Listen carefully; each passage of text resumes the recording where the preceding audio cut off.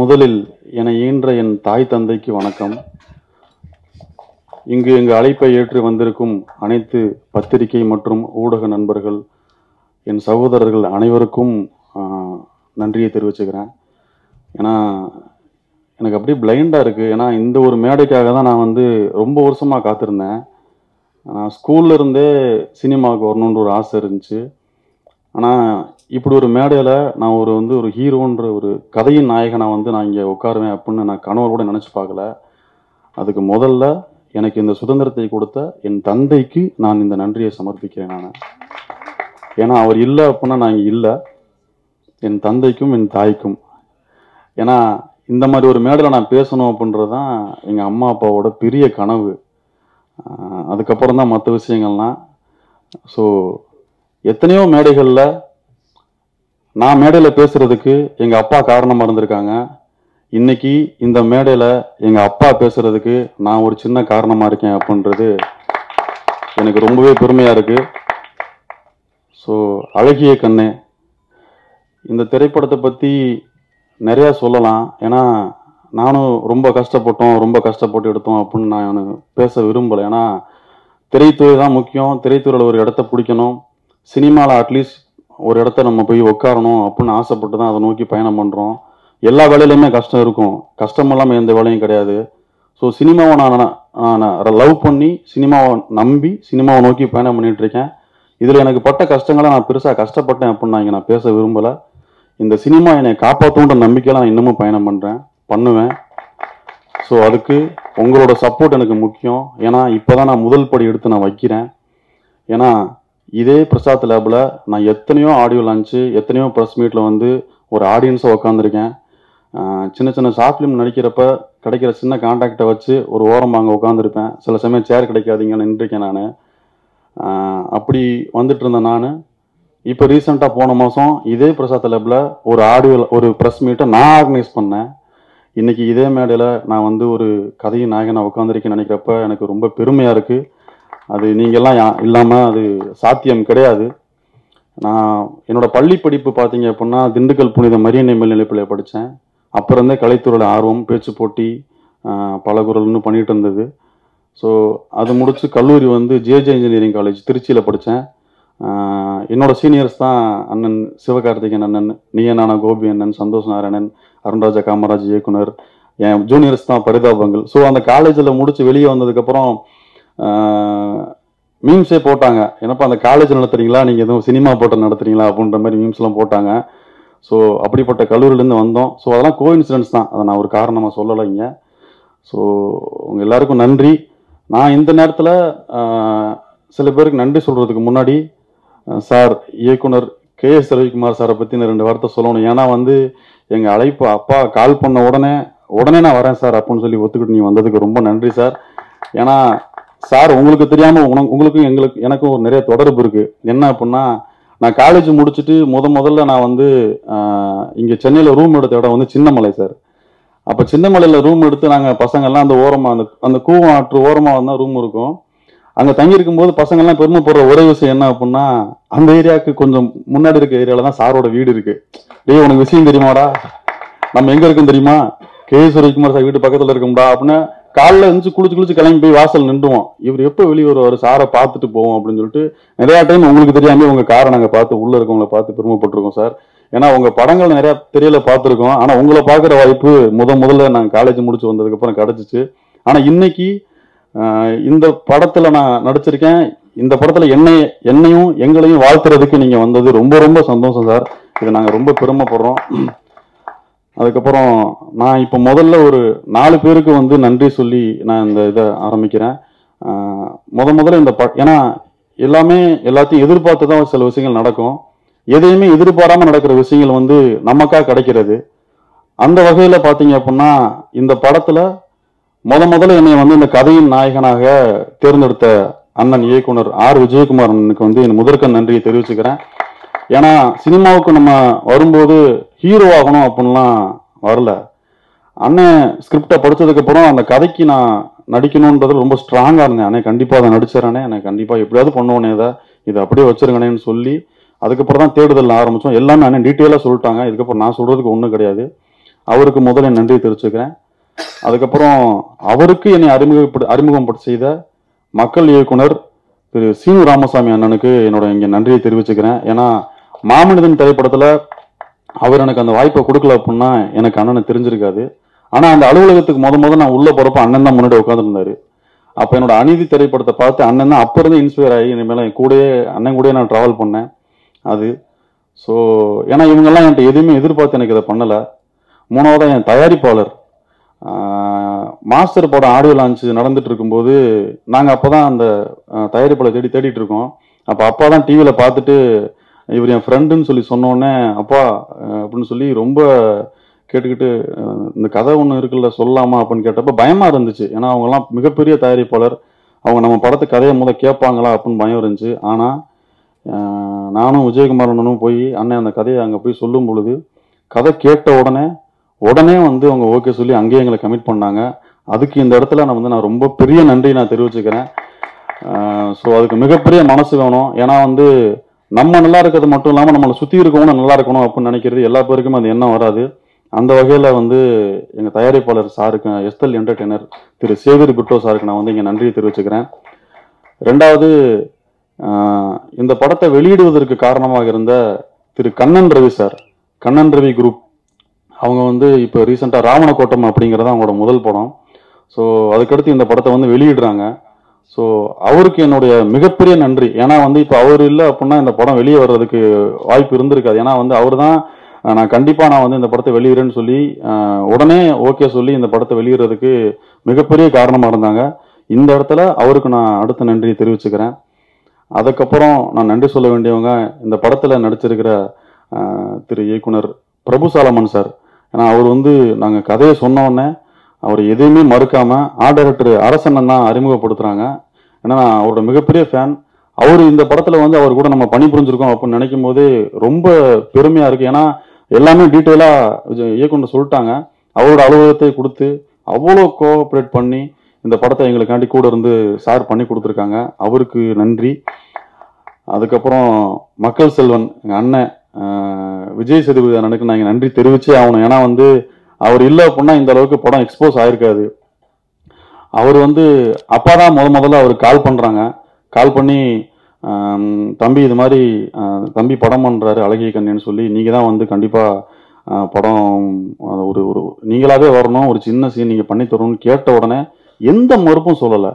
கண்டிப்பாக நான் பண்ணித்தரேன் சார் அப்படின்னு அப்பாவுக்கு வாக்குறுதி கொடுத்து அதுக்கப்புறம் அண்ணனை நாங்கள் ஃபாலோ பண்ணுறோம் ஃபாலோ பண்ணி அடுத்து ஒரு ரெண்டு மூணு வாரங்களில் அவர் ஆஃபீஸே கொடுத்து ஷூட்டிங் எடுக்க வச்சாரு. ஸோ அந்த மனசு உண்மையிலேயே வந்து இன்னைக்கு எல்லாத்தையும் இருக்குமா? அப்படின்னு நினச்சி கூட என்னால் பார்க்க முடியல. ஸோ மக்கள் செல்வன் விஜய் சேதுபதி அண்ணனுக்கு என்னோட மிகப்பெரிய நன்றி. லவ் யூனா இன்னைக்கு வரைக்கும் எப்போ மெசேஜ் பண்ணாலும் லவ் யூ ஷுவா லவ் யூ ஷுவான்னு எனக்கு ரிப்ளை பண்ணுற அளவுக்கு அண்ணன் கூட என்னோட பாசம். ஸோ அவருக்கு நன்றி.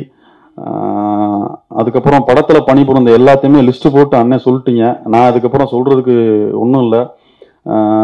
இந்த மேடையில் பார்த்தீங்க அப்படின்னா என்னோட ஹீரோயின் அவங்கள பற்றி சொல்லியே ஆகணும். ஏன்னா போன வாரத்தில் டெய்லிஸ் மீட்டுன்னு சொல்லி ஒன்று நடந்துச்சு.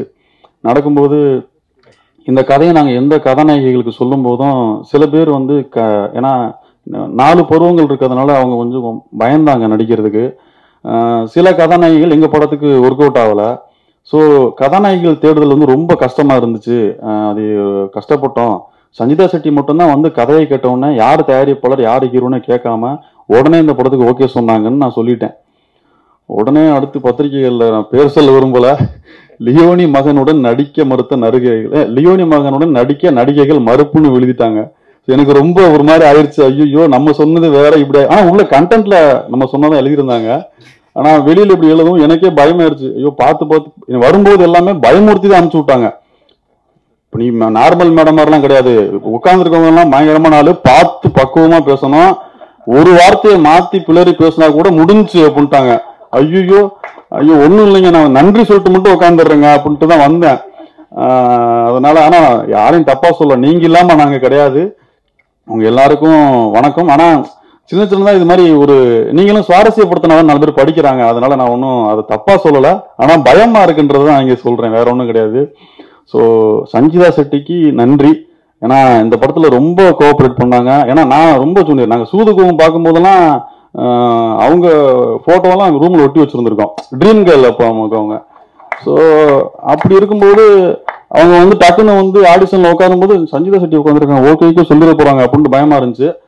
ஆ டக்குன்னு ஓகே சொன்னதுக்கப்புறம் உள்ள காமிச்சிக்கல. ரூம் விட்டு வெளியில போய் சஞ்சய் செட்டி நடிக்க போறோம். ஓகே அப்படின்னு சொல்லிட்டு பண்ணோம். ஆனா அந்த இது கொஞ்சம் கூட இல்லை அவங்கள்ட்ட. படம் ஷூட்டிங் சமயத்துல பாத்தீங்க அப்படின்னா அவ்வளோ ஒரு ஜாலியா ஏன்னா சீன் ரொம்ப டெப்தா இருக்கும். படத்துல என்னோட முக்கியமான ஒரு க கண்டிஷனே வந்து இயக்குனர் போட்டது நீ சிரிக்கவே கூடாது படத்துல அப்படின்ட்டாரு. நம்ம கொஞ்சம் ஜாலியா இருக்க ஆளு சா- ஜாலியா சிங்கத்துக்கு தெரியும் ஆ, இவரு அமுதவாணனுக்கு தெரியும். சிரிச்சு ஜாலியா இருப்போம். ஆனா அடுத்த சீன் பாத்தீங்கன்னா ரொம்ப ரொம்ப கொடூரமான சீனா இருக்கும். அதுக்கு உடனே நம்ம மைண்டை வேற மாத்தணும்ன்றதுனால அந்த இதெல்லாம் கத்து கொடுத்தது அவங்க தான் ஏன்னா நாங்க ஒரு மைண்ட்ல இருப்போம். இந்த இது சீன் இப்ப நீ இப்படி நடி ஆனா நடிக்கணும்னு வந்துட்டாங்கன்னா காலைல டைமுக்கு வர்றதுல இருந்து எந்த விஷயத்திலும் இன்னைக்கு நடக்கிற ப்ரொமோஷன் வரைக்குமே அவங்க நான் க- போன வாரத்துல இருந்து கூடவே இருக்காங்க. நீங்க ரிலீஸ் வரையும் நான் கூட இருப்பேன். நான் இருந்து எல்லாமே நான் உங்களுக்காக பண்ணி கொடுத்துட்டு போறேன்னு சொல்லி ஏன்னா அவங்களும் வந்து அடுத்த லெவலுக்கு போகணும் போகணுன்றதுனால ஸோ பக்காவா இந்த படத்தை பண்ணி கொடுத்து இன்னைக்கு வரைக்கும் கூட இருக்காங்க. ஸோ அவங்களுக்கு மிகப்பெரிய நன்றி இந்த படத்தில் நான் தெரிவிச்சுக்கிறேன். அடுத்தடுத்து மிகப்பெரிய வெற்றி படங்கள் வந்து அவங்க நடிக்கணும் அப்படின்றத நான் வந்து வாழ்த்துறேன். ஸோ அடுத்து இந்த படத்தில் பணிபுரிந்த என்னோட முதல்ல என்னோட பணிபுரிந்த என்னோட ஆர்டிஸ்ட்லாம் சொல்லிடுறேன். சிங்கம் ஆண்ட்ரூஸ். அவரும் நானும் சென்னை ஷெடியூல் ஃபுல்லாக அவர் தான் என் கூட இருப்பார். சென்னை வந்து நான் முத முத முழிக்கிற முகம் அவர் முகத்தில் தான் முழிப்பேன். அவர் தான் பிரபு சலமன் சார் அவர் ஆஃபீஸில் அசிஸ்டன்ட் டைரக்டர் ஒர்க் பண்ணிட்டு இருப்பாரு. ஸோ மிகப்பெரிய ஒரு ஜாலியான ஒரு மனுஷன் பாசிட்டிவான ஆள். எனக்கு வந்து ஆண்ட்ரூஸ் வந்து ரொம்ப பிடிக்கும். எனக்கு மட்டும் இல்லை எங்கள் வீட்டில் என் குடும்ப நண்பராகவே மாறிட்டாரு. அப்பாக்கெல்லாம் ரொம்ப பிடிச்ச ஒரு மனுஷன் ஆண்ட்ரூஸ் ஏன்னா ஆண்ட்ரூஸ் வந்து கூட இருந்தார் அப்படின்னா எல்லாம் அந்த இடமே கல கல கலகலன்னு இருக்கிற மாதிரியான ஒரு ஆள். சென்னை ஃபுல்லா ரொம்ப கூட இவனும் அருமையா நடிச்சிருக்காரு. அவரு இந்த படத்துல ஃபைட் பண்ணிருக்காரு. எல்லாரும் சொன்னாங்க நான் மட்டும் தான் நல்லா ஃபைட் பண்ணிருக்கேன் அப்படின்னு சொல்லிட்டு இந்த படத்துல அருமையா ஃபைட் பண்ணிருக்காரு. ஸோ நீங்க அதை வந்து தாராளமா நீங்க பார்க்கலாம். அடுத்து நான் சொல்லுங்க எதை சொல்லுங்க அமுதவாணன். மதுரையில என் கூட ரொம்ப அற்புதமா டான்ஸ் ஆடிருக்காரு. இவர் ஒரு பக்கம் அவர் ஃபைட் பண்றாரு ஒரு பக்கம் அவர் டான்ஸ் ஆடுறாரு. யாரு இந்த படத்துல ஹீரோ நடிக்கிறாங்கன்னு நமக்கு டவுட் வர அளவுக்கு பயங்கரமா ரெண்டு பேருமே கான்ட்ரிபியூட் பண்ணிருக்காங்க இந்த படத்துல.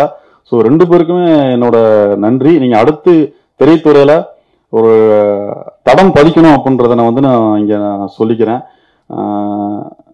பானு என் தங்கச்சியாக நடிச்சிருக்காங்க. பானுக்கும் எனக்கும் இந்த படத்தில் கெமிஸ்ட்ரி பார்த்தீங்க அப்படின்னா ரொம்பவுமே அற்புதமாக இருக்கும். உண்மையிலேயே இந்த படத்துக்கு ஆடிஷன் வரும்போது எனக்கு டக்குன்னு அந்த ரூம்லேருந்து வெளியே போகிறேன் டேரக்டர் ரூம்லேருந்து வெளியே அந்த ஹாலில் போகிறேன் ஹாலில் உட்காந்துருக்காங்க பார்த்தோன்னே எனக்கு உண்மையிலே ஒரு தங்கச்சி பிறந்திருந்தா இப்படி இருக்கும். அப்படின்ற மாதிரி பார்த்தோன்னு டக்குன்னு என்னடா இது அப்படின்னு சொல்லிட்டு அப்படியே நீங்கள் யாரு? பானு. எதுக்கு வந்திருக்கீங்க? இல்லை ஆடிஷன் சொன்னாங்க வந்திருக்கேன்னு. சரி சரி வாழ்த்துக்களுங்க அப்படின்ட்டு போயிட்டேன். ஆ உடனே வந்தோடனே செலக்ட் ஆகிட்டாங்க அதுக்கு மேலே என்ன பொருத்தம் வேணும் நமக்கு? செலக்ட் ஆகிட்டாங்க ரொம்ப சந்தோஷம். படத்துலையும் பார்த்தீங்க அப்படின்னா அருமையாக நடிச்சிருப்பாங்க. அதாவது ஒரு அண்ணன் தங்கச்சிக்கான அந்த ஒரு சின்ன ஒரு மொமெண்ட்ஸ் தான். சூப்பராக வந்திருக்கும். நீங்கள் தாராளமாக பாருங்கள் ரசிப்பீங்க கண்டிப்பாக நீங்கள் ஸோ பானுவும் அடுத்து அடுத்து நிறைய நல்ல நல்ல படங்கள் பண்ணிட்டு இருக்காங்க. நீங்கள் திரையில பார்த்துருப்பீங்க. நம்ம தான் புதுசு அவங்க நிறைய படங்கள் பண்ணியிருக்காங்க ஸோ அவங்களுக்கு வாழ்த்துக்கள் பானு. அடுத்தடுத்து நல்ல நல்ல படங்கள் வர்றதுக்கு வாழ்த்துக்கள். ஸோ டெக்னீஷியன்ஸ் பார்த்தீங்க அப்படின்னா இந்த படத்தில் ஒர்க் பண்ண சிங்கம் ஏஆர் அசோக்குமார். அவருக்கு வாழ்த்துக்கள். ஏன்னா வந்து ஒவ்வொரு ஃப்ரேமையும் செதுக்கியிருப்பார். அவர் வந்து அவருக்கான டைம் எடுத்துக்குவார் எப்போவுமே. டக்கு டக்குன்னு ஒரு ஷாட் வச்சுட்டு அடுத்த சீனுக்கு போகிற இது கிடையாது. டைரக்டர் சொல்கிறத அப்படியே உள்வாங்கி அடுத்து அவரோட இடத்துக்கு போயிடுவாரு. போய் நல்லா வச்சு நீங்க பார்த்துருப்பீங்க இந்த இந்த இவ்வளவு தூரம் வந்திருக்கு அப்படின்னா அவருடைய பிக்சரைசேஷன் வந்து ரொம்ப முக்கியம்.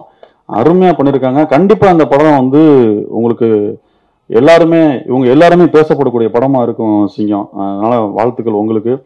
அடுத்து இந்த படத்துல எடிட்டரா ஒர்க் பண்ணியிருக்க சங்கத்தமிழன்.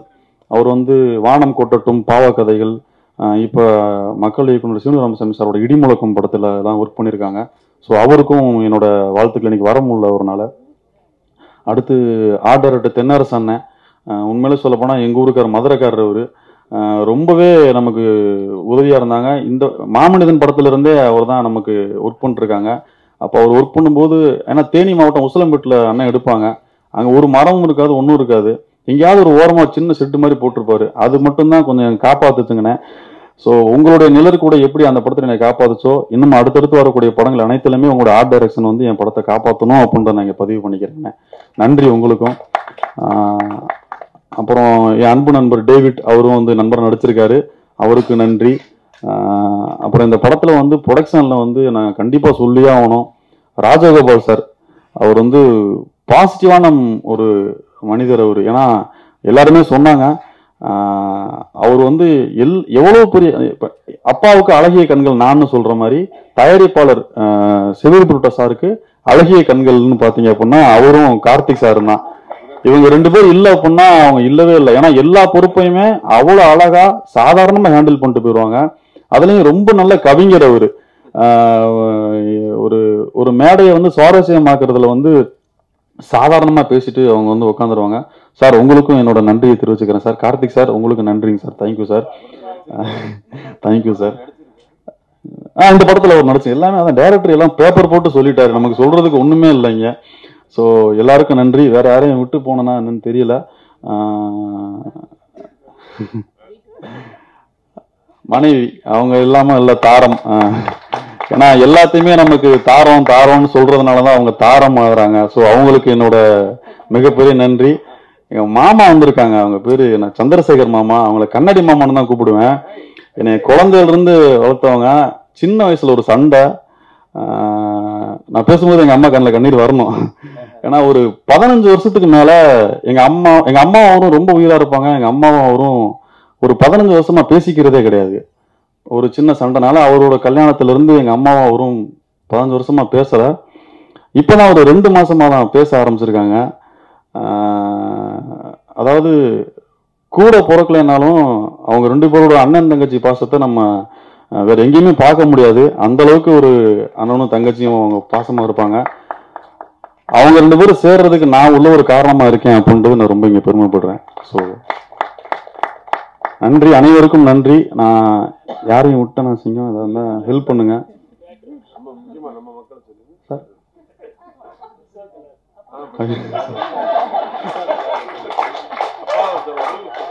அப்புறம் இந்த படத்துக்கு பிஆர்ஓ ரியாஸ் சாருக்கு நன்றி அண்ணன் சொல்லிட்டாங்க.